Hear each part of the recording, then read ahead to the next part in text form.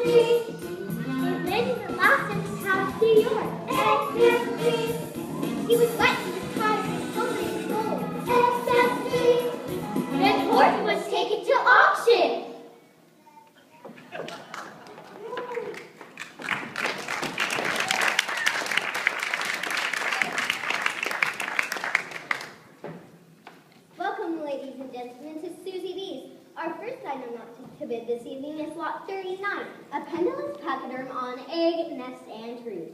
We will start the bidding at $10,000. Do I hear 10? 10,000. Going once, going twice. Sold to the man with the sideburns and the greasy black mustache.